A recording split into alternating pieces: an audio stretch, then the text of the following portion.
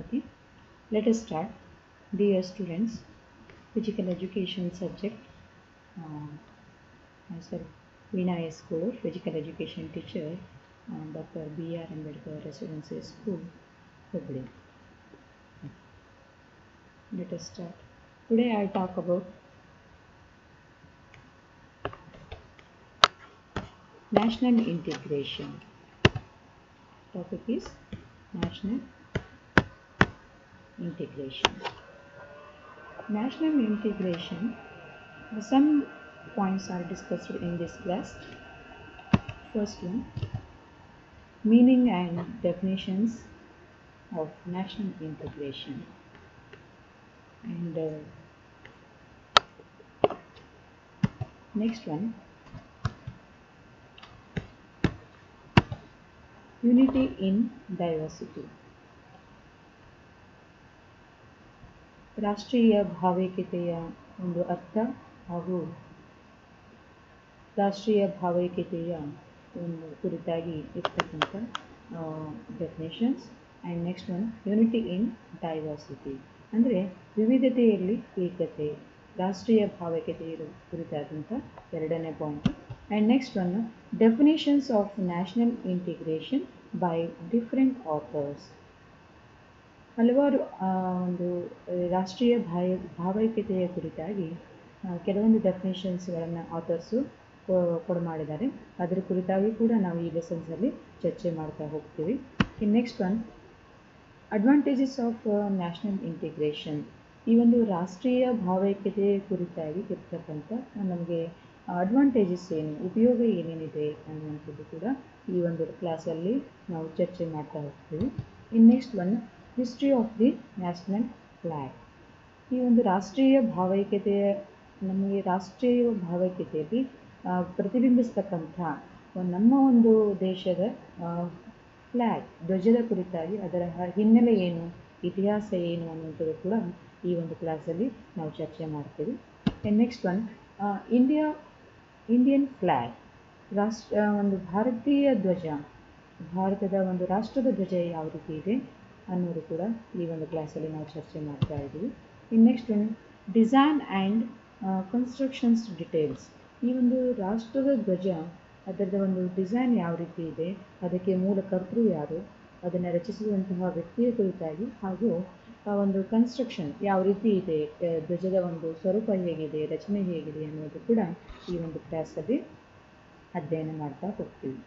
And next one national anthem national anthem ರಾಷ್ಟ್ರೀಯ ಒಂದು ನಮ್ಮ ಯಾವ ರೀತಿ ಸಾಂಗನ್ನು ಹಾಡ್ತಾ ಇದ್ದೀವಿ, ಆ ಒಂದು ಆ ಒಂದು ರಾಷ್ಟ್ರಗೀತೆಯ ಒಂದು ಸ್ವರೂಪ, ರಚನೆ ಹಾಗೂ ಅದರ ಒಂದು ಕುರಿತಾಗಿ ನಾವು ಕೂಡ ಅಧ್ಯಯನ ಮಾಡ್ತಕ್ಕಂಥ ವಿಚಾರ.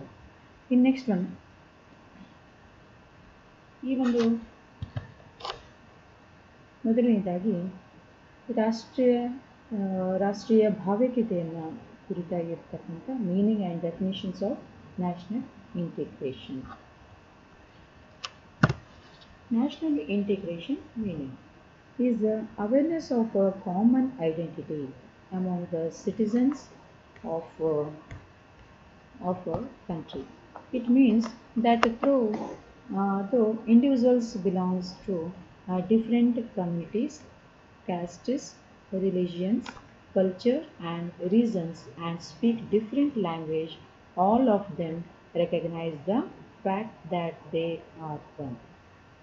ಇಲ್ಲಿ ನ್ಯಾಷನಲ್ ಇಂಟಿಗ್ರೇಷನ್ ಮೀನಿಂಗ್ ಅಂತ ಬಂದಾಗ ನಮ್ಮ ರಾಷ್ಟ್ರಧ್ವಜ ರಾಷ್ಟ್ರದ ಒಂದು ಭಾವೈಕ್ಯತೆಯನ್ನು ಕುರಿತಾಗಿರ್ತಕ್ಕಂಥ ಒಂದು ಡೆಫಿನೇಷನ್ ಅದರ ಒಂದು ಮೀನಿಂಗ್ ಇಲ್ಲಿ ರಾಷ್ಟ್ರದ ಪ್ರತಿಯೊಂದು ದೇಶ ಹಲವಾರು ಒಂದು ವಿಧ ವಿಧವಾದಂತಹ ಜನಾಂಗವನ್ನು, ಸಮುದಾಯವನ್ನು ಹಾಗೂ ಧರ್ಮದ ವಿವಿಧ ಧರ್ಮಗಳನ್ನು ಒಳಗೊಂಡಂಥ ಹಾಗೂ ಹಲವಾರು ಸಂಸ್ಕೃತಿ ಸಂಪ್ರದಾಯಗಳನ್ನು ಒಳಗೊಂಡಂಥ ಸ ಮತ್ತು ಬೇರೆ ಬೇರೆ ಭಾಷೆಯಿಂದ ಭಾಷೆಯನ್ನು ಆಡ್ತಕ್ಕಂಥ ಜನಾಂಗ ಇರುತ್ತೆ. ಆ ಒಂದು ಎಲ್ಲ ಒಂದು ಬೇರೆ ಬೇರೆ ಧರ್ಮ ಆಗಿರ್ಬೋದು, ಜಾತಿ ಆಗಿರ್ಬೋದು, ಸಂಪ್ರದಾಯ ಆಗಿರ್ಬೋದು, ಸಂಸ್ಕೃತಿ ಆಗಿರ್ಬೋದು, ಇವು ಎಲ್ಲವುಗಳನ್ನು ಒಟ್ಟುಗೂಡಿ ನಾವೆಲ್ಲರೂ ನಮ್ಮ ಒಂದು ರಾಷ್ಟ್ರ. ನಮ್ಮ ಒಂದು ನಾವು, ನಮ್ಮ ಒಂದು ಪ್ರದೇಶ, ನಮ್ಮದೇ ನಮ್ಮದೇ ಆದಂತಹ ಒಂದು ರಾಷ್ಟ್ರದ ಕುರಿತಾಗಿರ್ತಕ್ಕಂಥ ಎಲ್ಲರ ಒಂದು ಒಂದು ಐಡೆಂಟಿಫೈ ಮಾಡ್ತಕ್ಕಂಥ, ಒಂದು ಒಳ್ಳೆಯ ಭಾವನೆಯನ್ನು ಸೃಷ್ಟಿ ಮಾಡ್ತಕ್ಕಂಥ ಒಂದು ಕೆಲಸ ಈ ಒಂದು ರಾಷ್ಟ್ರೀಯ ಭಾವೈಕ್ಯತೆಯನ್ನು ಮೂಡಿಸುತ್ತೆ ಅಂತ ಹೇಳ್ಬೋದು. ಅಂದರೆ ನಾವೆಲ್ಲರೂ ಒಂದು ಅನ್ನುವಂತಹ ಭಾವನೆಯನ್ನು ಈ ಒಂದು ರಾಷ್ಟ್ರೀಯ ಭಾವೈಕ್ಯತೆ ನಮಗೆ ತೋರಿಸಿಕೊಡುತ್ತೆ.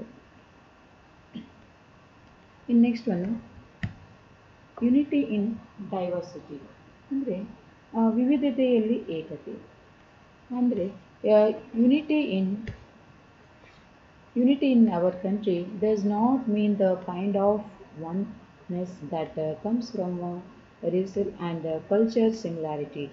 It is a unity in spite of uh, great differences. In other words, uh, unity in diversity.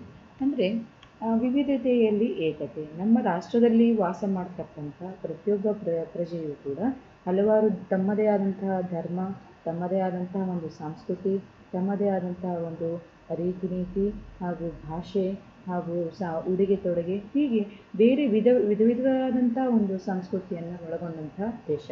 ಈ ಒಂದು ನಮ್ಮ ಭಾರತ ದೇಶದಲ್ಲಿ ಇರ್ತಕ್ಕಂಥ ಪ್ರತಿಯೊಬ್ಬರೂ ಕೂಡ ನಾವೆಲ್ಲರೂ ಹಲವಾರು ವಿವಿಧತೆಯಲ್ಲಿ ಇದ್ದರೂ ಕೂಡ ನಾವು ಏಕತೆಯನ್ನು ಪ್ರತಿಬಿಂಬಿಸ್ತಕ್ಕಂಥದ್ದು ಈ ಒಂದು ರಾಷ್ಟ್ರೀಯ ಭಾವೈಕ್ಯತೆಯಿಂದ ನಾವು ತಿಳಿದುಕೊಳ್ಳಿಕ್ಕೆ ಚಾನ್ಸಸ್ ಇದೆ.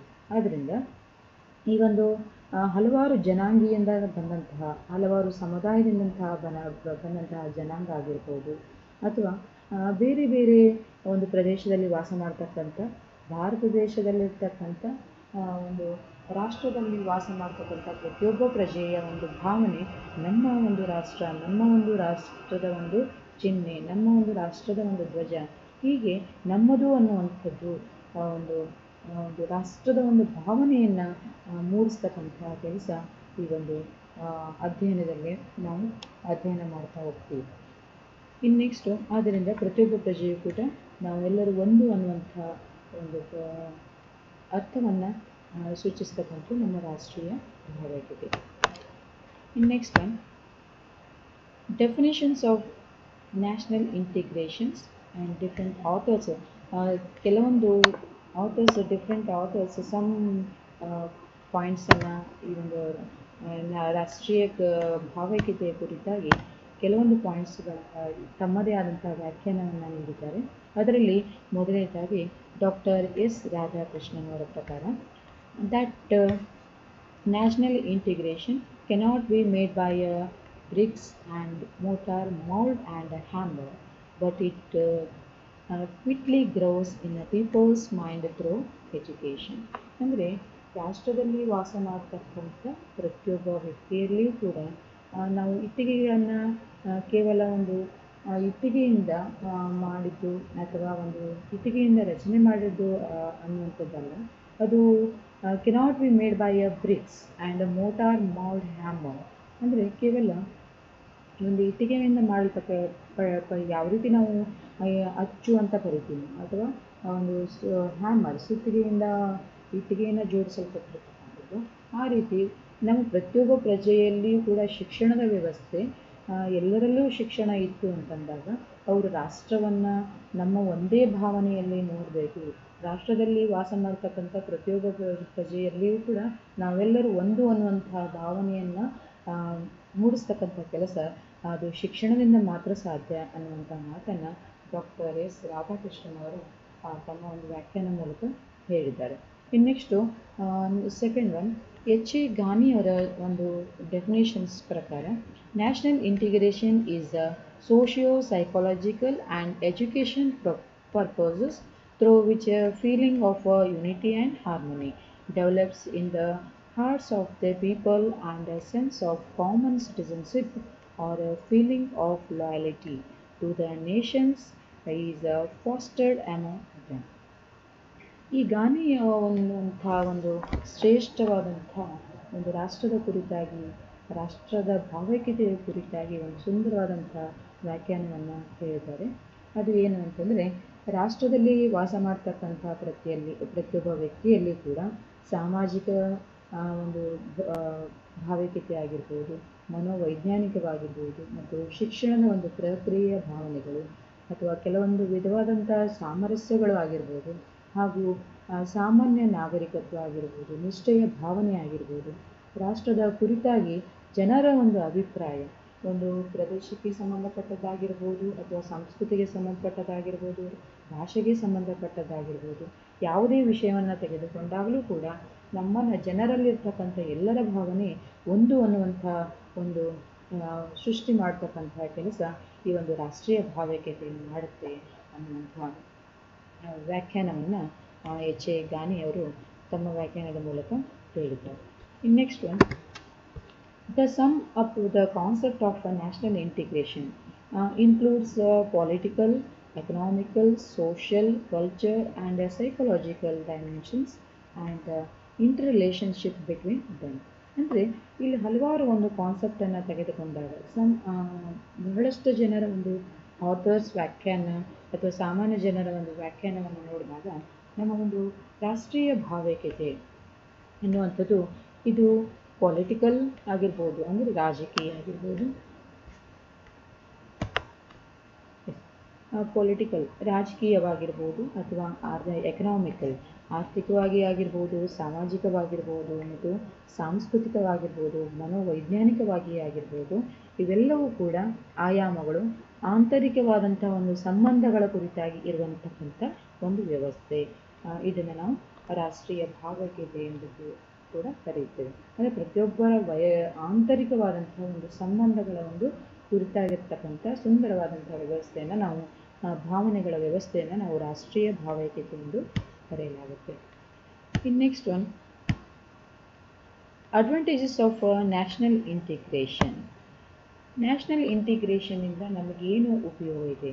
ನ್ಯಾಷನಲ್ ಇಂಟಿಗ್ರೇಷನ್ ಭಾ, ರಾಷ್ಟ್ರೀಯ ಭಾವೈಕ್ಯತೆಯ ಕುರಿತಾಗಿ ನಮಗೆ ಅಧ್ಯಯನ ಏಕೆ ಬೇಕು ಅನ್ನುವಂಥ ಒಂದು ಪ್ರಶ್ನೆ ಬಂದಾಗ first one increase is the feeling of brotherhood ಅಂದರೆ ಇಲ್ಲಿ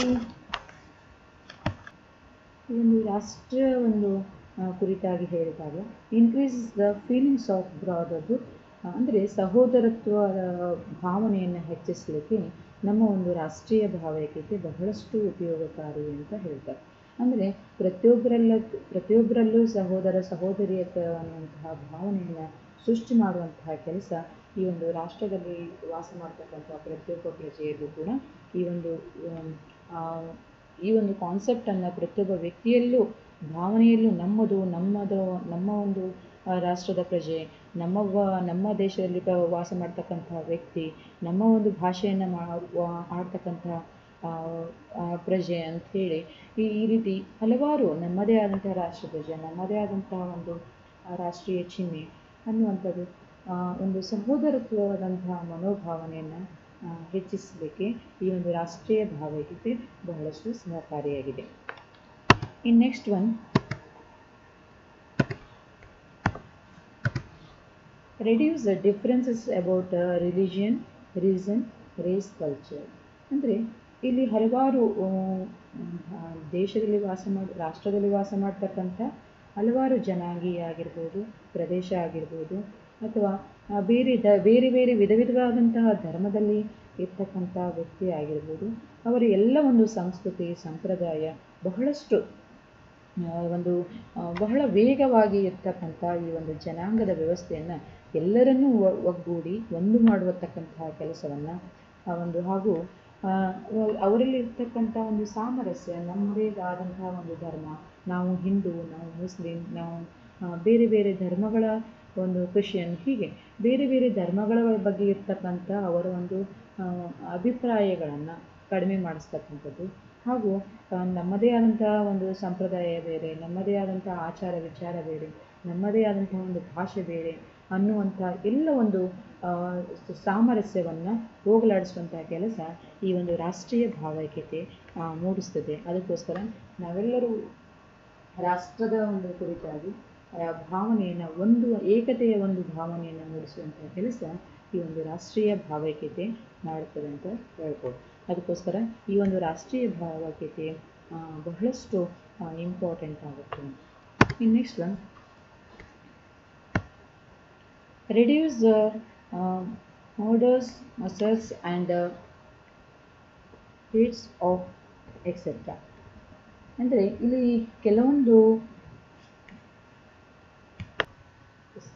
reduce murders and measures and rights etcetera ಅಂದರೆ ಆ ಒಂದು ಪ್ರದೇಶಗಳಿಗಾಗಿರ್ಬೋದು ಅಥವಾ ಸ್ಥಳಕ್ಕಾಗಿರ್ಬೋದು, ನಮ್ಮ ಒಂದು ಭಾಷೆಗಾಗಿರ್ಬೋದು ಹಾಗೂ ನಮ್ಮ ಒಂದು ಸಂಸ್ಕೃತಿಗಾಗಿರ್ಬೋದು ಹಲವಾರು ಸಾಮರಸ್ಯಗಳು ಜನರಲ್ಲಿರ್ತಕ್ಕಂಥ ಭಿನ್ನಾಭಿಪ್ರಾಯಗಳನ್ನು ಕಡಿಮೆ ಮಾಡಿಸಲಿಕ್ಕೆ ಈ ಒಂದು ರಾಷ್ಟ್ರೀಯ ಭಾವೈಕ್ಯತೆ ನಮಗೆ ಸಹಕಾರಿಯಾಗಿದೆ. Next one. Supports in developing the nations ಅಂದರೆ ನಮ್ಮ ದೇಶ ರಾಷ್ಟ್ರದ ಒಂದು ಅಭಿವೃದ್ಧಿಗಾಗಿ ಸಹಕಾರ ಮಾಡುತ್ತದೆ. ಬಹಳಷ್ಟು ನಮ್ಮ ಒಂದು ದೇಶ, ನಮ್ಮದ, ನಮ್ಮದೇ ಆದಂತಹ ಒಂದು ರಾಷ್ಟ್ರ ನಮ್ಮದೇ ಆದಂತಹ ಒಂದು ರಾಷ್ಟ್ರದಲ್ಲಿರ್ತಕ್ಕಂಥ ಒಂದು ಸಮುದಾಯ, ರಾಷ್ಟ್ರದಲ್ಲಿರ್ತಕ್ಕಂಥ ನಮ್ಮ ನಾಗರಿಕತ್ವ ಆಗಿರ್ಬೋದು ಅಥವಾ ಪ್ರತಿಯೊಬ್ಬ ಪ್ರಜೆಯಲ್ಲೂ ಈ ಒಂದು ಎಲ್ಲ ಅಂಶಗಳನ್ನು ಹೆಚ್ಚಿಸಲಿಕ್ಕೆ ಈ ಒಂದು ರಾಷ್ಟ್ರೀಯ ಭಾವೈಕ್ಯತೆ ಬಹಳಷ್ಟು ನಮಗೆ ಇಂಪಾರ್ಟೆನ್ಸ್ ಇನ್ನು next increase unity among people ಅಂದರೆ ಪ್ರತಿಯೊಬ್ಬ ವ್ಯಕ್ತಿಯಲ್ಲಿ ಜನರನ್ನು ಒಗ್, ಒಗ್ಗಟ್ಟು ಮಾಡ್ತಕ್ಕಂತಹ ಕೆಲಸವನ್ನು ಈ ಒಂದು ರಾಷ್ಟ್ರೀಯ ಭಾವೈಕ್ಯತೆ ನಮಗೆ ಸಹಕಾರಿಯಾಗಿದೆ. ಎಲ್ಲರಲ್ಲೂ ಕೂಡ ನಾವೆಲ್ಲರೂ ಒಂದು ಅನ್ನುವಂತಹ ಭಾವನೆಯನ್ನು ಮೂಡಿಸಲಿಕ್ಕೆ ಈ ಒಂದು ರಾಷ್ಟ್ರೀಯ ಭಾವೈಕ್ಯತೆ ಬಹಳಷ್ಟು ನಮಗೆ ಇಂಪಾರ್ಟೆಂಟ್ ಅಂತ ಹೇಳ್ಬೋದು. Next one point history of Indian national flag Indian national flag ಈ ಒಂದು ರಾಷ್ಟ್ರ ಧ್ವಜವನ್ನು ನಾವು ನಮ್ಮ ಭಾರತ ದೇಶದ ಒಂದು ರಾಷ್ಟ್ರ ಧ್ವಜ, ಪ್ರತಿಯೊಬ್ಬ, ಪ್ರತಿಯೊಂದು ದೇಶಕ್ಕೆ ಅದರದೇ ಆದಂಥ ಒಂದು ದೇಶವನ್ನು ಪ್ರತಿಬಿಂಬಿಸ್ತಕ್ಕಂಥ ರಾಷ್ಟ್ರ ಧ್ವಜಗಳು ಬಹಳಷ್ಟು ಇಂಪಾರ್ಟೆಂಟ್ ಅದಕ್ಕೋಸ್ಕರ ನಮ್ಮ ಒಂದು ಭಾರತ ದೇಶದ ಒಂದು ರಾಷ್ಟ್ರದ ಧ್ವಜಕ್ಕೆ ಅದರದೇ ಆದಂಥ ಒಂದು ಹಿನ್ನೆಲೆ ಇತಿಹಾಸ ಇದೆ. ಏಕೆಂದರೆ ಪ್ರತಿಯೊಬ್ಬ ಒಂದು ದೇಶವನ್ನು ಐಡೆಂಟಿಫೈ ಮಾಡಬೇಕಾದ್ರೆ ಪ್ರತಿಯೊಂದು ದೇಶದ ಒಂದು flag very very important so ನಮ್ಮ ಒಂದು ಭಾರತ ದೇಶಕ್ಕೂ ಕೂಡ ನಮ್ಮ ಒಂದು ರಾಷ್ಟ್ರದ ಒಂದು ನ್ಯಾಷನಲ್ ಫ್ಲ್ಯಾಗ್ ಅಂತ ಏನು ಹೇಳ್ತೀವಿ ಅದರದೇ ಆದಂಥ ಒಂದು ಇತಿಹಾಸ ಇದೆ. ಹೇಗೆ ನಾವು ಈ ಒಂದು ರಾಷ್ಟ್ರಧ್ವಜವನ್ನು ಹೇಗೆ ಒಪ್ಪಿಕೊಂಡಿದ್ದೀವಿ? ಇದೇ ಈ ಟ್ರೈಕಲರ್ ಇರ್ತಕ್ಕಂಥ ಫ್ಲ್ಯಾಗನ್ನೇ ಏಕೆ ನಾವು ಬಳಸಬೇಕು ಅನ್ನುವಂಥ ಹಲವಾರು ಪ್ರಶ್ನೆಗಳು ನಮಗೆ ಬಂದಾಗ ಈ ಒಂದು ರಾಷ್ಟ್ರಧ್ವಜವನ್ನು ನಾವು ಯಾವ ರೀತಿ ನಾವು ಸಂವಿಧಾನಬದ್ಧವಾಗಿ ನಾವು ಯಾವ ರೀತಿ ಒಪ್ಕೊಂಡಿದ್ವಿ? ಬಿಫೋರ್ ಅದಕ್ಕೆ ಸ್ವಾತಂತ್ರ್ಯಕ್ಕಿಂತ ಪೂರ್ವಭಾವಿಯಾಗಿ ಯಾವ ರೀತಿ ರಾಷ್ಟ್ರಧ್ವಜ ಇತ್ತು? ಈಗ ಪ್ರಸ್ತುತ ಸನ್ನಿವೇಶದಲ್ಲಿ ಯಾವ ರೀತಿ ರಾಷ್ಟ್ರಧ್ವಜ ನಾವು ಬಳಸ್ತಾ ಇದ್ದೀವಿ ಅನ್ನುವಂಥದ್ದಕ್ಕೆ ಅದರ ಒಂದು ಹಿನ್ನೆಲೆಯನ್ನು ನೋಡಿದಾಗ ಬಿಫೋರ್ ನೈನ್ಟೀನ್ ನಾಟ್ ಸಿಕ್ಸಲ್ಲಿ ಈ ರೀತಿ ಹಲವಾರು ಇಲ್ಲಿ ಪಿ ಪಿ ಟಿಯಲ್ಲಿ ತೋರಿಸಿದ ಹಾಗೆ nineteen nought six nineteen nought seven ಈ ರೀತಿ ಸೆವೆಂಟೀನಲ್ಲಿ ನೈನ್ಟೀನ್ ಟ್ವೆಂಟಿ ಒನ್ನಲ್ಲಿ ನೈನ್ಟೀನ್ ಥರ್ಟಿ ಒನ್ನಲ್ಲಿ ನೈನ್ಟೀನ್ ಫೋರ್ಟಿ ಸೆವೆನಲ್ಲಿ ಹೀಗೆ ವಿಧ ವಿಧವಾದಂಥ ಒಂದು ರಾಷ್ಟ್ರಧ್ವಜವನ್ನು ನಾವು ಫ್ಲ್ಯಾಗ್ ಹೋಸ್ಟಿಂಗನ್ನು ಮಾಡಲಾಗಿತ್ತು.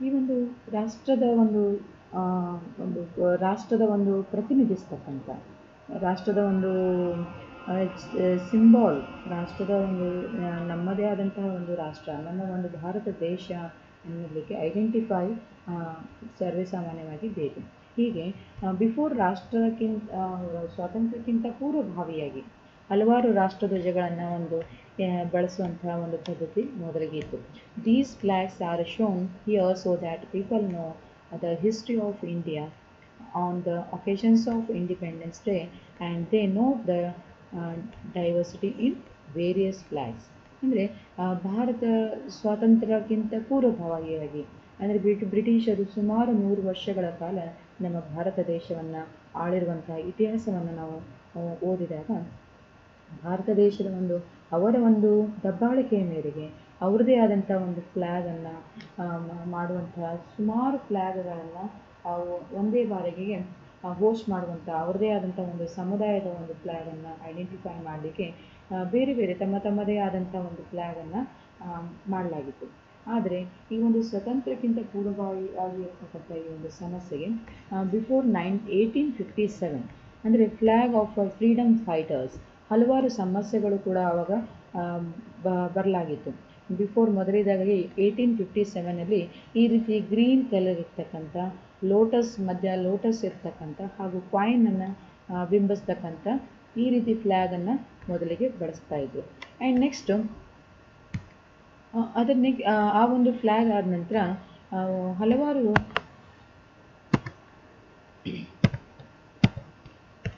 ಈ ಒಂದು ಫ್ಲ್ಯಾಗನ್ನು ಕೂಡ, ಕೆಲವೊಂದು ಸಮುದಾಯದ ಜನಾಂಗ, ಈ ಈ ಫ್ಲ್ಯಾಗಿಗೂ ಕೂಡ ಬಹಳಷ್ಟು ಸಮಸ್ಯೆಗಳನ್ನು ತೆಗೆದಾಗ ಈ ರೀತಿ ಫ್ಲ್ಯಾಗ್ ನಮಗೆ ಬೇಡ ಅನ್ನುವಂಥದ್ದು ಅಥವಾ ಒಂದು ಜನರ ಒಂದು ಅಭಿಪ್ರಾಯ ಬೇರೆ ಬೇರೆ ಆದಾಗ ಈ ಫ್ಲ್ಯಾಗನ್ನು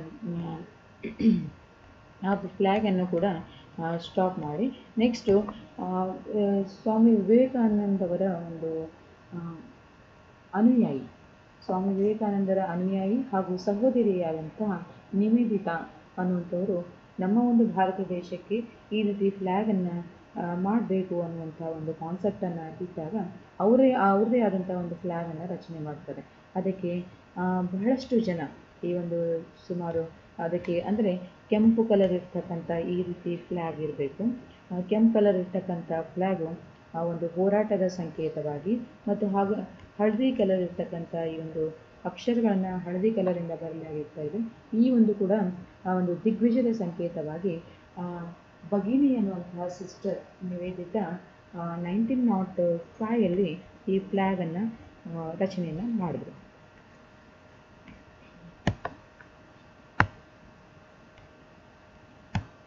ಆ ಒಂದು ನಿವೇದಿತ ಅವರು ಫ್ಲ್ಯಾಗನ್ನು ರಚನೆ ಮಾಡಿದರೂ ಕೂಡ ಹಲವಾರು ಸ್ಥಳೀಯ ಸಂಸ್ಥೆಗಳು, ಹಳೆಯ, ಹಲವಾರು ಸಮುದಾಯದ ಒಂದು ಜನರು ಒಂದು ಅಬ್ಜೆಕ್ಷನ್ ತರದಾಗ ಈ ರೀತಿ ಫ್ಲ್ಯಾಗ್ ನಮಗೆ ಬೇಡ.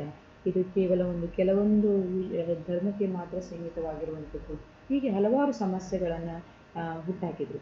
ಆ ಒಂದು ಸಿಚುವೇಶನ್ನಲ್ಲಿ ಒಂದು ನೆಕ್ಸ್ಟ್ ಒನ್ ಅಂದರೆ ದ ಫಸ್ಟ್ ನ್ಯಾಷನಲ್ ಫ್ಲ್ಯಾಗ್ ಅಂದರೆ nineteen nought six unofficially unofficial flag of Indian nineteen nought six the first national flag in India is said to have been hoisted on August seven nineteen nought six in the uh, Paris Bagan uh, Square in uh, Calcutta. Uh, the flag was uh, composed of uh, three horizontal strips of uh, red, yellow and green. ಈ ಒಂದು unofficial flag nineteen not ಸಿಕ್ಸಲ್ಲಿ first time ಈ ಒಂದು ಕಲ್ಕತ್ತಾ ಅಂದರೆ ಪ್ಯಾರಿಸೆ ಬೆಗನ್ ಅನ್ನುವಂಥ ಒಂದು ಪ್ಲೇಸಲ್ಲಿ green ಪಾರ್ಕಲ್ಲಿ ಕಲ್ಕತ್ತಾದಲ್ಲಿ ಆಗಸ್ಟ್ ಸೆವೆನ್ ನೈನ್ಟೀನ್ ನಾಟ್ ಸಿಕ್ಸಲ್ಲಿ ಈ ಒಂದು ಒಂದೇ ಮಾತರಂ ಒಂದು ಬರೆದಂಥದ್ದು ಮೇಲೆ ಲೋಟಸಲ್ಲಿ ಇರ್ತಕ್ಕಂಥ ಸುಮಾರು ಎಂಟು ಲೋಟಸನ್ನು ಸೃಷ್ಟಿ ಇರ್ತಕ್ಕಂಥ ಮೇಲ್ಗಡೆ ಗ್ರೀನ್ ಕಲರ್, ಆಮೇಲೆ ಹಾಗೂ ಕೆಳಗಡೆ ಮಧ್ಯ ಯೆಲ್ಲೋ ಕಲರ್ ಹಾಗೂ ರೆಡ್ ಕಲರ್ ಇರ್ತಕ್ಕಂಥ ಹಾಗೂ ಎಂಟು ಲೋಟಸ್ಗಳನ್ನು ಸೃಷ್ಟಿ ಇರ್ತಕ್ಕಂಥ ಹಾಗೂ ಕೆಳಗಡೆ ರೆಡ್ ಕಲರಲ್ಲಿ ಹಾಗೂ ಸೂರ್ಯ ಹಾಗೂ ಚಂದ್ರ ಇರ್ತಕ್ಕಂಥ ಒಂದು ಫ್ಲ್ಯಾಗನ್ನು ರಚನೆ ಮಾಡಲಾಯಿತು. ಹತ್ತೊಂಬತ್ತು ನೂರ ಆರರಲ್ಲಿ. ಆ ಒಂದು ಸಂದರ್ಭದಲ್ಲಿ ನೈನ್ಟೀನ್ ನಾಟ್ ಫೈಯಲ್ಲಿ ಬಂಗಾಳದ ವಿಭಜನೆಯಲ್ಲೂ ಕೂಡ ನಾವು ಇತಿಹಾಸದಲ್ಲಿ ಅಧ್ಯಯನ ಮಾಡಿದಾಗ ಬಂಗಾಳದ ವಿಭಜನೆಯ ಒಂದು ಸಂದರ್ಭ ಪ್ರಾರಂಭ ಆಗಿರ್ತೀವಿ ಈ ಒಂದೇ ಮಾತರಂ ಇರ್ತಕ್ಕಂಥ ಈ ಒಂದು ಫ್ಲ್ಯಾಗನ್ನು ನಮ್ಮ ಒಂದು ರಾಷ್ಟ್ರಕ್ಕೆ ಬಿಂಬಿಸ್ತಕ್ಕಂಥ ಫ್ಲ್ಯಾಗ್ ಆಗಿರಬೇಕು ಅನ್ನುವಂಥ ರೆಡ್ ಯೆಲ್ಲೋ ಇರ್ತಕ್ಕಂಥ ಫ್ಲ್ಯಾಗನ್ನು ರಚನೆಯನ್ನು ಮಾಡಲಾಗಿದೆ. ಇನ್ನು ನೆಕ್ಸ್ಟ್ ಒನ್ ಈ ಒಂದು ಫ್ಲ್ಯಾಗನ್ನು ಕೂಡ ಹಲವಾರು ಒಂದು ಸಮುದಾಯದಂತಹ ಜನ ಹಾಗೂ ಹಲವಾರು ಪಾರ್ಟಿ ಕೆಲವೊಂದು, ಕೆಲವರ ಒಂದು ಜನರ ಒಂದು ಭಿನ್ನಾಭಿಪ್ರಾಯ, ಸಮಸ್ಯೆಗಳು ಬಂದಾಗ ಈ ಫ್ಲ್ಯಾಗನ್ನು ಕೂಡ ಬೇಡ ಅನ್ನುವಂಥ ಒಂದು ಕ್ರಿಯೇಟ್ ಆಗುತ್ತೆ. ಆ ಒಂದು ಸಮಸ್ಯೆ ಬಂದಾಗ ನೆಕ್ಸ್ಟು ಸೆಕೆಂಡ್ ಫ್ಲ್ಯಾಗನ್ನು ಸೆಕೆಂಡ್ ಫ್ಲ್ಯಾಗನ್ನು ರಚನೆ ಮಾಡ್ತಾರೆ. ಅದರಲ್ಲಿ the Berlin committee flag first raised by Bhikaji Cama in 1907. The second flag was uh, hosted in uh, Paris by Madame Kama and her band of uh, exile uh, revolutionaries in uh, 1907. Uh, this was uh, very similar to the first flag except uh, that the top strip had only one lotus but uh, seven stars denoting the Saptarishi. This flag was uh, also exhibited at a socialist uh, conference in Berlin. ಈ second ಒಂದು ಫ್ಲ್ಯಾಗನ್ನು ಈ ಒಂದು ಬಿಕಾಜಿ ಕಾಮ ಅನ್ನುವಂಥವರು nineteen not ಸೆವೆನಲ್ಲಿ ರಚನೆ ಮಾಡ್ತಾರೆ ಈ ಒಂದು ಫ್ಲ್ಯಾಗ್ ಯೆಲ್ಲೋ ಹಾಗೂ ರೆಡ್ ಮೇಲ್ಗಡೆ ಸ್ಟಾರ್ ಇರ್ತಕ್ಕಂಥದ್ದು ಹಾಗೂ ಸೂರ್ಯ ಮತ್ತು ಚಂದ್ರನನ್ನು ಒಳಗೊಂಡಿರ್ತಕ್ಕಂಥ ಫ್ಲ್ಯಾಗನ್ನು ಮೇಡಮ್ ಕಾಮ ಅನ್ನುವಂಥವರು ಬಹಳ ಸ್ವಾತಂತ್ರ್ಯ ಹೋರಾಟಗಾರರು, ಒಂದು ಹಾಗೂ ರಾಷ್ಟ್ರದ ಒಂದು ಅಭಿಮಾನ, ರಾಷ್ಟ್ರಕ್ಕೆ ಅವರು ಸಲ್ಲಿಸ್ತಕ್ಕಂಥ ಒಂದು ಅವರ ಒಂದು ದೇಶಾಭಿಮಾನದ ಕುರಿತಾಗಿ ಅವರು ಒಂದು ಈ ಫ್ಲ್ಯಾಗನ್ನು ರಚನೆ ಮಾಡ್ತಾರೆ. ಈ ಮೇಡಮ್ ಬಿಕಾಜಿ ಕಾಮ ಅವರು ರಚಿಸ್ತಕ್ಕಂಥ ಈ ಒಂದು ಫ್ಲ್ಯಾಗ್ ಮುಂದೆ ಅದು ಹಲವಾರು, ಆ ಜ, ಹಲವಾರು ಜನ ಆದಂಥ ಹೋರಾಟಗಾರರಾದಂತಹ ಸಾರ್ವಕರ್ ಆಗಿರ್ಬೋದು ಶ್ಯಾಮ್ಜಿ, ಕೃಷ್ಣ ಶರ್ಮಾ ಆಗಿರ್, ಕೃಷ್ಣ ವರ್ಮಾ ಅವರಾಗಿರ್ಬೋದು ಅವರು ಕೂಡ ಈ ಒಂದು ಫ್ಲ್ಯಾಗನ್ನು ರಚನೆ ಮಾಡುವಲ್ಲಿ ಸಹಕಾರವನ್ನು ನೀಡುತ್ತಾರೆ ಅವರು ಕೂಡ ಬಹಳಷ್ಟು ರಚನೆ ಈ ಒಂದು ಫ್ಲ್ಯಾಗ್ ರಚನೆಗೆ ಸಹಕಾರ ರಚನೆ ಮಾಡಲಿಕ್ಕೆ ಸಂಪೂರ್ಣವಾದಂತಹ ಬೆಂಬಲವನ್ನು ಸೂಚಿಸ್ತಾರೆ. ಆದರೆ, ಆವಾಗ, ಆ ಒಂದು ಸಂದರ್ಭದಲ್ಲಿ ಕಾಂಗ್ರೆಸ್ ಈ ಒಂದು ಕಾಂಗ್ರೆಸ್ ಪಕ್ಷ ಏನು ಮಾಡ್ತಿದೆ ಅಂದರೆ ಕಾಂಗ್ರೆಸ್ ಕಮಿಷನ್ ಒಂದು ರಚನೆ ಆಗಿರ್ತದೆ ಈ ಕಾಂಗ್ರೆಸ್ ಕಮಿಷನ್ ಕಮಿಷನ್ ಅಬ್ಜೆಕ್ಷನ್ ಮಾಡ್ತಾರೆ. ಈ ಒಂದು ಫ್ಲ್ಯಾಗ್ ಬೇಡ. ಇದಕ್ಕೆ ಸರಿಯಾದಂತಹ ರೀತಿಯ ಒಂದು ಮನ್ನಣೆಯನ್ನು ಅವರು ಕೊಡೋದಿಲ್ಲ ಕಾಂಗ್ರೆಸ್ ಪಕ್ಷದವರು. ಹೀಗಾಗಿ ಈ ಫ್ಲ್ಯಾಗ್ ಕೂಡ ಸ್ಟಾಪ್ ಆಗಿ ನೆಕ್ಸ್ಟ್ ಥರ್ಡ್ ಒನ್ ಫ್ಲ್ಯಾಗ್ ರಚನೆ ಆಗುತ್ತೆ. ಆ, ಒಂದು the flag used during the ಇಲ್ಲಿ ಪಿ ಪಿ ಟಿಯಲ್ಲಿ ತೋರಿಸಿದ ಹಾಗೆ the flag used during the home rule movement in nineteen seventeen The third flag went up in uh, 1917 when our political struggle had taken a defiant turn. Dr. Annie Besant and Lokamanya Tilak hosted it uh, during the Home Rule movement. This flag had five red and uh, four green horizontal strips arranged alternately with seven stars in the Saptarishi configurations superimposed on them. Uh, in the left hand top corner, um, the pole end uh, was the Union Jack. There was uh, also a white color.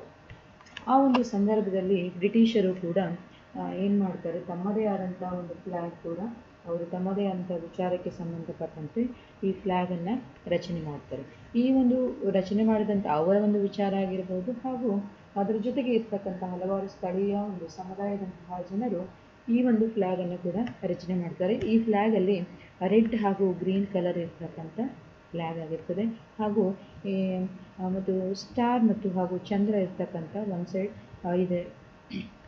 ಬಿಂಬಿಸ್ತಕ್ಕಂಥ ಒಂದು ಪಿಕ್ಚರನ್ನು ಹಾಕಲಾಗಿರ್ತದೆ. ಮತ್ತು ಇದರಲ್ಲಿ ನಾ ಈ seven seven star ಇರ್ತಕ್ಕಂಥ ಒಂದು ಒಂದು ಸ್ಟಾರನ್ನು ಈ ಒಂದು ಫ್ಲ್ಯಾಗಲ್ಲಿ ಅಳವಡಿಸಿರ್ತಾರೆ ಅದಕ್ಕೆ ಇದಕ್ಕೆ ನಾವು ಸಪ್ತಋಷಿ ಅಂತ ಹೇಳಿ ಕೂಡ ಕರೆಯಲಾಗ್ತದೆ ಇದಕ್ಕೂ ಕೂಡ ಈ ಒಂದು ಫ್ಲ್ಯಾಗನ್ನು ಕೂಡ ಜನರು ಒಪ್, ಒಪ್ಪಿಗೆಯನ್ನು ಕೊಡಲ್ಲ. ಹಾಗೂ ಹಲವಾರು ಕಾಂಗ್ರೆಸ್ನಲ್ಲಿರ್ತಕ್ಕಂತಹ ಜನಾಂಗ ಈ ಒಂದು ಫ್ಲ್ಯಾಗಿಗೆ ಅಬ್ಜೆಕ್ಷನನ್ನು ಮಾಡ್ತಾರೆ. ಈ ಒಂದು ಕೂಡ ಫ್ಲ್ಯಾಗನ್ನು ಬೇಡ ಅನ್ನುವಂಥ ಒಂದು ಸರಿಯಾದ ರೀತಿಯಿಂದ ಮನ್ನಣೆಯನ್ನು ಸಿಕ್ಕಲ್ಲ. ಆದ್ದರಿಂದ ನೆಕ್ಸ್ಟ್ ಒನ್ ಫ್ಲ್ಯಾಗ್ ರಚನೆ ಆಗುತ್ತೆ. ಹೀಗೆ ನಮ್ಮ ಭಾರತ ದೇಶಕ್ಕೆ ಒಂದು ಸರಿಯಾದ ರೀತಿಯ ಒಂದು ರಾಷ್ಟ್ರವನ್ನು ಬಿಂಬಿಸ್ತಕ್ಕಂಥ ರಾಷ್ಟ್ರದ ಕುರಿತಾಗಿರ್ತಕ್ಕಂಥ ಒಂದು ಫ್ಲ್ಯಾಗನ್ನು ರಚನೆ ಮಾಡಲಿಕ್ಕೇ ಬೇಕು. ರಾಷ್ಟ್ರದ ಧ್ವಜ ಅವಶ್ಯಕತೆ ಇದೆ. ಹಾಗಾದರೆ ಒಂದು ಸುಮಾರು ಫ್ಲ್ಯಾಗ್ಗಳನ್ನು ಏಳು, ಎಂಟು ಫ್ಲ್ಯಾಗ್ಗಳು ಒಮ್ಮೆ ರಚನೆ ಮಾಡೋದರ ಬದಲಾಗಿ ಒಂದು ಒಂದು ನಮ್ಮ ರಾಷ್ಟ್ರದ ಒಂದು ಫ್ಲ್ಯಾಗ್ ಇರಬೇಕು ಅನ್ನುವಂಥ ಕಾರಣಕ್ಕಾಗಿ ಮುಂದೆ ಗಾಂಧೀಜಿಯವರು ಆ ಸಂದರ್ಭದಲ್ಲಿ ಬರ್ತಾರೆ. ಆ ಗಾಂಧೀಜಿಯವರು ತಾವು ಹತ್ತಿ ಹತ್ತಿ ಬಟ್ಟೆಯನ್ನು ನೆ ಖಾದಿ ಬಟ್ಟೆಯನ್ನು ನೇಯುವಂತಹ ಒಂದು ಚಕ್ರ ಇರಬೇಕು. ಬ ಒಂದು ರಾಷ್ಟ್ರದ ಧ್ವಜದಲ್ಲಿ ಅನ್ನುವಂಥ ಒಂದು ವಿಷಯವನ್ನು ವ್ಯಕ್ತಪಡಿಸಿದಾಗ ಆ ಒಂದು ಸಂದರ್ಭದಲ್ಲಿ ಬಾಲಗಂಗಾಧರ್ ತಿಲಕ್ ಅವರು ಈ ಒಂದು ದ ಆ, ಬಾಲ್ ಗಂಗಾಧರ್ ತಿಕ ತಿಲಕ್ ಅವರು ಈ ಒಂದು ರಾಷ್ಟ್ರದ ಒಂದು ಧ್ವಜವನ್ನು ರಚನೆ ಮಾಡ್ತಾರೆ. ಅದರಲ್ಲಿ the flag unofficially adopted in nineteen twenty one. Uh, during the sessions of uh, the All India Congress Committee which uh, met at uh, Bejwada in 1921 and Andhra prepared a flag and took it to Gandhiji. It was made up of two colors, red and green, representing the two major communities. for example, in this Hindus and Muslims, Gandhiji suggested the additions of a white strip uh, to represent the remaining communities of India and the uh, spinning wheel to symbols progress of the nation. ಆದ್ದರಿಂದ ಖಾದಿ ಬಟ್ಟೆಯನ್ನು ನೇಯ್ತಕ್ಕಂಥ ಒಂದು ಚಕ್ರವನ್ನು ಅಳವಡಿಸಬೇಕು ರಾಷ್ಟ್ರಧ್ವಜದಲ್ಲಿ ಅದರಲ್ಲಿ ಹಾಗೂ ಒಂದು green ಹಾಗೂ red colour ಇರ್ತಕ್ಕಂಥ ಕಲರನ್ನು ರಾಷ್ಟ್ರಧ್ವಜದಲ್ಲಿ ಅಳವಡಿಸಬೇಕು ಅನ್ನುವಂಥ ಒಂದು ಸತ್ಯವನ್ನು ಸಾರ್ತಕ್ಕಂಥ ಒಂದು ಚಕ್ರವನ್ನು ಅದರಲ್ಲಿ ಅಳವಡಿಸಬೇಕು ಅನ್ನುವಂಥ ವಿಚಾರವನ್ನು ವ್ಯಕ್ತಪಡಿಸಿದಾಗ ಆ ಒಂದು ಸಂದರ್ಭದಲ್ಲೂ ಕೂಡ ಹಲವಾರು ಹಿಂದೂ ಹಾಗೂ ಮುಸ್ಲಿಮ್ಸರ ಒಂದು ಜಗಳ ಜಗಳಗಳು, ಅದರ ಜೊತೆಗೆ ಒಂದು ಬ್ರಿಟಿಷರ ಒಂದು ಜಗಳಗಳು ಈ ರೀತಿ ಸಮಸ್ಯೆಗಳು ಏರ್ಪಟ್ಟಾಗ ಈ ಒಂದು ರಾಷ್ಟ್ರಧ್ವಜವನ್ನು ಕೂಡ ಹಲವಾರು ಸಮುದಾಯ ಸಂಸ್ಥೆಗಳು, ಸ್ಥಳೀಯ ಸಂಸ್ಥೆಗಳು ಈ ಒಂದು ರಾಷ್ಟ್ರಧ್ವಜಕ್ಕೂ ಕೂಡ ಸಮಸ್ಯೆಯನ್ನು ಏರ್ಪಡಿಸ್ತಾರೆ ಹೀಗಾಗಿ ಈ ರಾಷ್ಟ್ರಧ್ವಜವು ಕೂಡ ನೈನ್ಟೀನ್ ಟ್ವೆಂಟಿ ಒನ್ನಲ್ಲಿ ಅನ್ಅಫಿಷಿಯಲಿ ಅದಕ್ಕೆ ಆಫಿಷಿಯಲಿ ಸರಿಯಾದ ರೀತಿಯಿಂದ ಮನ್ನಣೆ ಸಿಕ್ಕಲ್ಲ. ಇನ್ನು ನೆಕ್ಸ್ಟ್ ಒನ್ ಅದರ ನಂತರ ನಮ್ಮ ದೇಶಕ್ಕೆ ಒಂದು ರಾಷ್ಟ್ರಧ್ವಜದ ಅವಶ್ಯಕತೆ ಇದೆ. ರಾಷ್ಟ್ರಕ್ಕೆ ಒಂದು ರಾಷ್ಟ್ರದ ಒಂದು ಫ್ಲ್ಯಾಗ್ ಬೇಕು ಅನ್ನುವಂಥ ಕಾರಣಕ್ಕಾಗಿ the flag adopted in nineteen thirty one In this flag was also the battle ensign uh, of the Indian National Army. The year 1931 was uh, a landmark in the history of the flag. Uh, resolutions was uh, passed adopting a tricolor flag as our national flag. This flag, the uh, forebear of the present one, was saffron, white and green with Mahatma Gandhi's spinning wheel at the centre ನಮ್ಮ ಒಂದು ರಾಷ್ಟ್ರಪಿತ ಆದಂತಹ ಮಹಾತ್ಮ ಗಾಂಧೀಜಿಯವರು ಈ ಒಂದು ರಾಷ್ಟ್ರ ಧ್ವಜದಲ್ಲಿ ಮೂರು colour ಇರ್ತಕ್ಕಂಥ ಫ್ಲ್ಯಾಗ್ ಇರಬೇಕು. ಮೇಲ್ಗಡೆ saffron white and green colour ಇರ್ತಕ್ಕಂಥ ಫ್ಲ್ಯಾಗನ್ನು ನೈನ್ಟೀನ್ ಥರ್ಟಿ ಒನ್ನಲ್ಲಿ ಹಾಗೂ ಮಧ್ಯ ಬಟ್ಟೆಯನ್ನು ನೀಡ್ತಕ್ಕಂಥ ಒಂದು ಚಕ್ರವನ್ನು ಅಳವಡಿಸಬೇಕು ಅನ್ನುವಂಥ ವಿಚಾರವನ್ನು ವ್ಯಕ್ತಪಡಿಸಿದಾಗ ಇಲ್ಲಿ ಕೂಡ ಹಲವಾರು ಒಂದು ಸಂಘ ಸಂಸ್ಥೆಗಳು, ಒಂದು ಕಾಂಗ್ರೆಸ್ ಕಮಿಟಿ ಆಗಿರ್ಬೋದು ಗಾಂಧೀಜಿಯವರ ಒಂದು ಸ್ಪಿನ್ನಿಂಗ್ ವೀಲ್ ಇರ್ತಕ್ಕಂಥ ಒಂದು ಸೆಂಟರ್ ಇರ್ತಕ್ಕಂಥ ಒಂದು ಫ್ಲ್ಯಾಗನ್ನು ಅಳವಡಿಸ್ಬೇಕು, ನಮ್ಮ ಒಂದು ಫ್ಲ್ಯಾಗಲ್ಲಿ ಅಂತಂದಾಗ ಇದಕ್ಕೂ ಕೂಡ ಕೆಲವೊಂದಿಷ್ಟು ಜನ ಒಂದು ಸಮಸ್ಯೆಯನ್ನು ಕ್ರಿಯೇಟ್ ಮಾಡಿ, ಕೊನೆಗೆ ಒಂದು ಸಂವಿಧಾನಬದ್ಧವಾಗಿ, ಎಲ್ಲರ ಒಂದು ಒಪ್ಪಿಗೆ ಮೇರೆಗೆ ಆಫಿಷಿಯಲಿ ಒಂದು ಸಂವಿಧಾನಬದ್ಧವಾಗಿ ರಾಷ್ಟ್ರಧ್ವಜ ರಚನೆಯಾಗುತ್ತೆ ಅದು ಯಾವಾಗ ಅಂತಂದರೆ on July twenty second nineteen forty seven the Constitution Assembly adopted it as a free India national flag. After the advent of uh, independence, the color and their significance remained the same. Only the Dharmachakra of uh, Emperor Ashoka was adopted in the place of the spinning wheel as the emblem on the flag. Thus, the tricolor flag on the Congress party uh, eventually became the tricolour flag of independent India ಅಂದರೆ ಕೊನೆಗೆ ನಮ್ಮ ಒಂದು ಸಂವಿಧಾನಬದ್ಧವಾಗಿ ದೇಶಕ್ಕೆ ಒಂದು ರಾಷ್ಟ್ರಧ್ವಜ ಅವಶ್ಯಕತೆ ಅವಶ್ಯಕತೆ ರಾಷ್ಟ್ರಧ್ವಜವನ್ನು ರಾಷ್ಟ್ರವನ್ನು ಪ್ರತಿಬಿಂಬಿಸ್ತಕ್ಕಂಥ ಧ್ವಜ ಬೇಕೇ ಬೇಕು ಅನ್ನುವಂಥ ನಿರ್ಧಾರದಲ್ಲಿ ಕೊನೆಗೆ ಸಂವಿಧಾನ ಕೂಡ ಒಂದು ಸಂವಿಧಾನದ ಒಂದು ಬದ್ಧದ ಸಂವಿಧಾನದ ಕುರಿತಾಗಿ on July twenty second nineteen forty ಸೆವೆನಲ್ಲಿ ಈ ಒಂದು ಟ್ರೈ ಕಲರ್ ಇರ್ತಕ್ಕಂಥ ಫ್ಲ್ಯಾಗನ್ನು ರಚನೆ ಮಾಡಲಾಯಿತು. ಅದರಲ್ಲಿ ಮಧ್ಯ ಅಶೋಕ ಚಕ್ರವನ್ನು ಸಾರನಾಥ ದೇವಾಲಯದಲ್ಲಿರ್ತಕ್ಕಂಥ ಅಶೋಕ ಸಾರನಾಥ ದೇವಾಲಯದಲ್ಲಿ ಕಂಬದ ಮೇಲೆ ಕೆತ್ತನೆ ಮಾಡಿರ್ತಕ್ಕಂಥ ಈ ಚಕ್ರವನ್ನು ಆತನ ಒಂದು ತ್ಯಾಗದ ನೆನಪಿಗಾಗಿ ಆತ ರಚನೆ ಮಾಡಿರ್ತಕ್ಕಂಥ ಈ ಒಂದು ಚಕ್ರವನ್ನು ರಾಷ್ಟ್ರಧ್ವಜದಲ್ಲಿ ಮಧ್ಯ ಸೇರಿಸಬೇಕು ಅನ್ನುವಂಥ ಒಂದು ಸಂವಿಧಾನದ ಬದ್ಧವಾಗಿ ಎಲ್ಲರೂ ಕೂಡ ಒಪ್ಪಿಗೆಯ ಮೇರೆಗೆ ಈ ರಾಷ್ಟ್ರಧ್ವಜ ನಿರ್ಮಾಣ ಆಯಿತು, ರಚನೆ ಆಯಿತು ಅಂತ. ಅದು on July twenty two nineteen forty seven okay ಈ ಒಂದು ರಾಷ್ಟ್ರಧ್ವಜ ರಚನೆ ಮಾಡಲಿಕ್ಕೆ ಈ ಒಂದು ಟ್ರೈ ಕಲರ್ ಇರ್ತಕ್ಕಂಥ ಫ್ಲ್ಯಾಗನ್ನು ರಚಿಸಿದಂತಹ ಮೂಲವಾದಂಥ ಒಬ್ಬ ವ್ಯಕ್ತಿ ರಚನಾಕಾರ ಇದ್ದಾರೆ ಅವರನ್ನು ನಾವು ಪಿಂಗೈ, ಪಿಂಗಾಲಿ ವೆಂಕಯ್ಯ ಅಂತ ಹೇಳಿ ಕರಿತೀವಿ.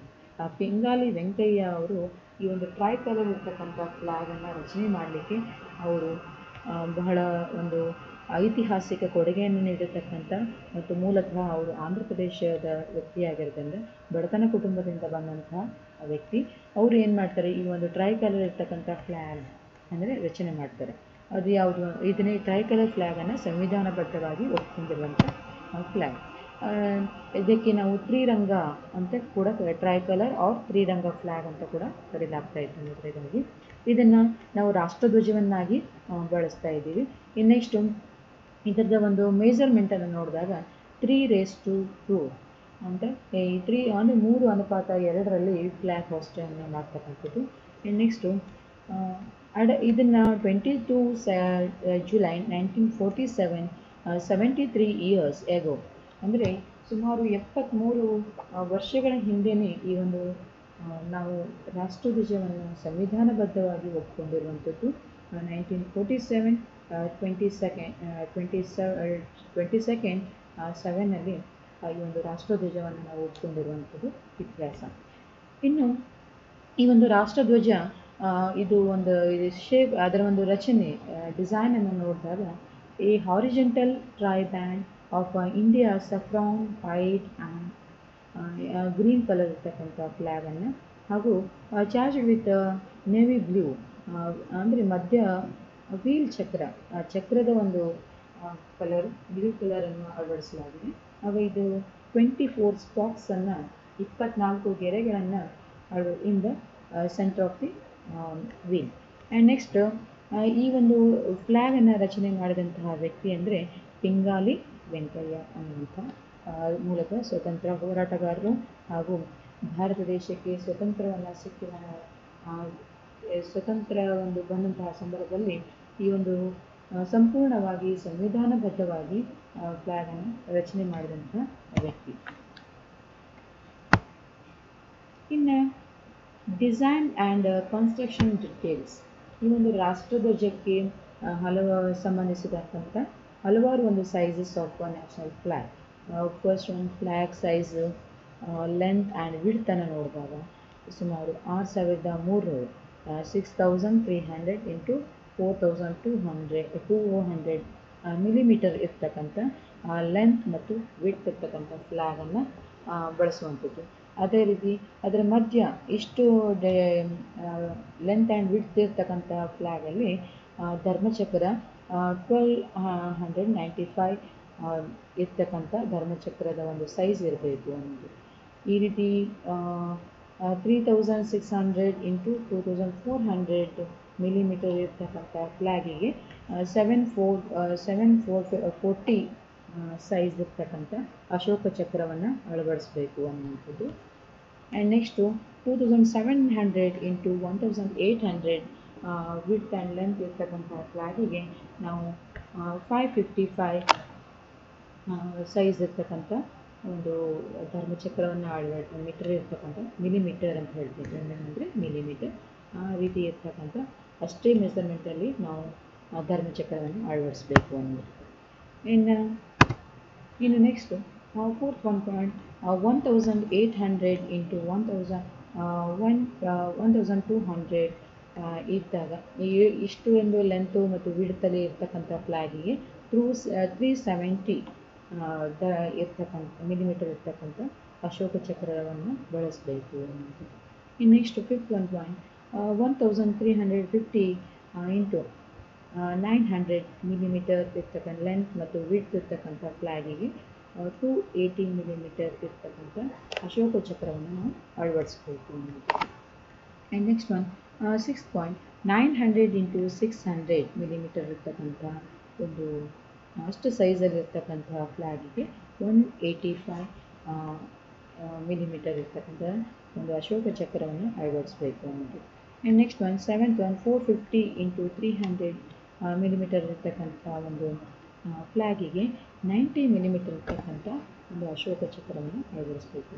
ಹೀಗೆ ಕೊನೆಯದಾಗಿ one fifty into hundred millimetre ಇರ್ತಕ್ಕಂಥ ಒಂದು ಫ್ಲ್ಯಾಗಿಗೆ ಟ್ವೆಂಟಿ ಫೈವ್ ಇರ್ತಕ್ಕಂಥ ಒಂದು ಮೆಜರ್ಮೆಂಟ್ ಇರ್ತಕ್ಕಂಥ ಫ್ಲ್ಯಾಗನ್ನು ನಾವು, ಅಂದರೆ ವಿಧ ವಿಧವಾದಂಥ ಒಂದು ಫ್ಲ್ಯಾಗನ್ನು ನಾವು ಫ್ಲ್ಯಾಗಿಗೆ ಸಂಬಂಧಿಸಿದಂತೆ ಈ ಒಂದು ಸಂವಿಧಾನಬದ್ಧವಾಗಿ ಇರ್ತಕ್ಕಂಥ ಒಂದು ರೂಲ್ಸ್ ಬದ್ಧವಾಗಿ ಎಲ್ಲರೂ ಒಪ್ಪಿಕೊಂಡಿರುವಂಥ ಫ್ಲ್ಯಾಗನ್ನೇ ಅಳವಡಿಸ್ಬೇಕು ಅನ್ನೋದು ನೆಕ್ಸ್ಟ್ ಒನ್ ಈ ಒಂದು ಫ್ಲ್ಯಾಗ್ ಕಲರ್ಸನ್ನು ನೋಡಿದಾಗ ಟ್ರೈ ಕಲರ್ ಫ್ಲ್ಯಾಗ್ ಅಥವಾ ತ್ರಿರಂಗ ಫ್ಲ್ಯಾಗ್ ಅಂತ ನಾವು ಹೇಳಿದ್ವಿ. ಈ Tiranga ಫ್ಲ್ಯಾಗಲ್ಲಿ colours saffron white and green colour ಅಂತ. ಈ ಸಫ್ರಾನ್ ಕಲರ್ ನಾವು ಯಾಕೆ ಸಫ್ರಾನ್ ಕಲರ್ನೇ ಬಳಸಿದ್ದೀವಿ? ಈ ಸಫ್ರಾನ್ ಕಲರ್ ನಮಗೆ ಏನು ಡಿನೋಟ್ ಮಾಡುತ್ತೆ ಅಂತ ನೋಡಿದಾಗ ಈ saffron colour in the national flag of India the top bands is a saffron colour indicating the strength and courage of the country ಅಂದರೆ ಭಾರತ ದೇಶದಲ್ಲಿ ವಾಸ ಮಾಡ್ತಕ್ಕಂಥ ಪ್ರತಿಯೊಬ್ಬ ವ್ಯಕ್ತಿಯೂ ಕೂಡ ಈ ಒಂದು ಸಫ್ರಾನ್ ಆ್ಯಂಡ್ ಸಫ್ರಾನ್ ಕಲರು ಮತ್ತು ನಮಗೆ ಸ್ಟ್ರೆಂತ್ ಮತ್ತು ಕರೇಜ್ ಶಕ್ತಿ ಮತ್ತು ಸಾಮರ್ಥ್ಯವನ್ನು, ಧೈರ್ಯಶವನ್ನು ಹೆಚ್ಚಿಸ್ತಕ್ಕಂಥ ಕೆಲಸವನ್ನು ಈ ಒಂದು ಸಫ್ರಾನ್ ಕಲರ್ ಮಾಡುತ್ತೆ. ಅದಕ್ಕೋಸ್ಕರ ಈ ಒಂದು ಸಫ್ರಾನ್ ಕಲರನ್ನು ನಮ್ಮ ರಾಷ್ಟ್ರದ ಧ್ವಜದಲ್ಲಿ ಸಫ್ರಾನ್ ಕಲರನ್ನು ಅಳವಡಿಸಲಾಗಿದೆ. Next one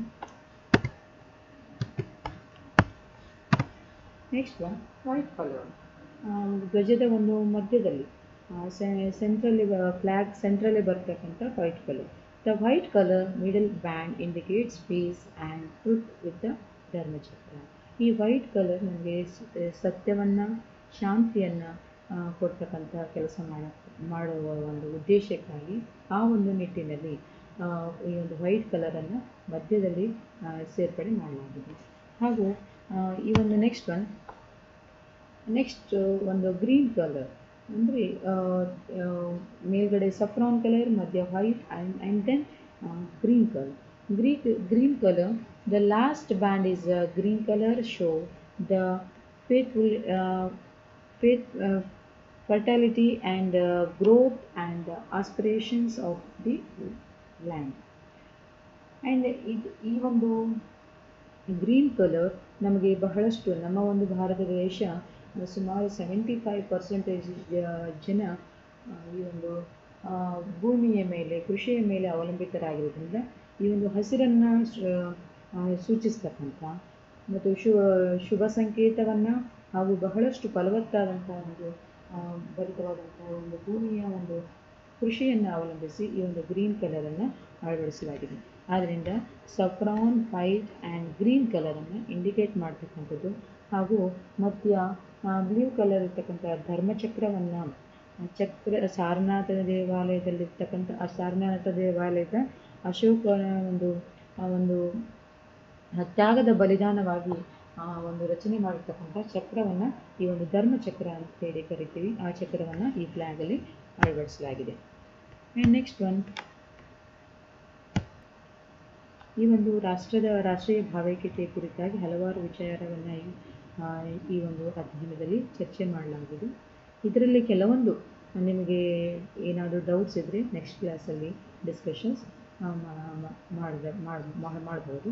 ಅಥವಾ ನಿಮಗೆ ಏನಾದರೂ ಡೌಟ್ಸ್ ಇದ್ದರೆ ಕೆಲವೊಂದು ನೀವು ಕ್ವಶನ್ಸ್ಗಳನ್ನು ಚರ್ಚೆ ಮಾಡಿ ಮಾಡೋದ್ರ ಮೂಲಕ ವಾಟ್ಸಪ್ಪಲ್ಲಿ ಕೆಲವೊಂದು ಕ್ವಶನ್ಸ್ ಹಾಕೋದ್ರ ಮೂಲಕ ಡಿಸ್ಕಷನ್ ಮಾಡಲಾಗುತ್ತೆ. ಓಕೆ ಈ ಒಂದು ಅಧ್ಯಯನದಲ್ಲಿ ನಮ್ಮ ಒಂದು ರಾಷ್ಟ್ರಧ್ವಜ, ರಾಷ್ಟ್ರದ ಒಂದು ರಾಷ್ಟ್ರೀಯ ಒಂದು ನ್ಯಾಷನಲ್ ಇಂಟಿಗ್ರೇಷನ್ ಡೆಫಿನೇಷನ್ಸ್ ಹಿಸ್ಟ್ರಿ ಹಾಗೂ ಈ ಒಂದು national integration meaning and definitions ಕುರಿತಾಗಿ ಅಧ್ಯಯನ ಮಾಡಿದ್ದೀವಿ ಇನ್ನು ಇದರ ಒಂದು ಮುಂದಿನ ಒಂದು ಒಂದು ರಾಷ್ಟ್ರೀಯ ಭಾವೈಕ್ಯತೆ ಕುರಿತಾಗಿರ್ತಕ್ಕಂಥ ಹಲವಾರು ವಿಚಾರಗಳನ್ನು ನೆಕ್ಸ್ಟ್ ಕ್ಲಾಸಲ್ಲಿ ಚರ್ಚೆ ಮಾಡೋಣ ಅಂತ ಹೇಳಿ ಈ ಒಂದು ಕ್ಲಾಸನ್ನು ಮುಗಿಸಲಾಗ್ತದೆ okay thank you thank you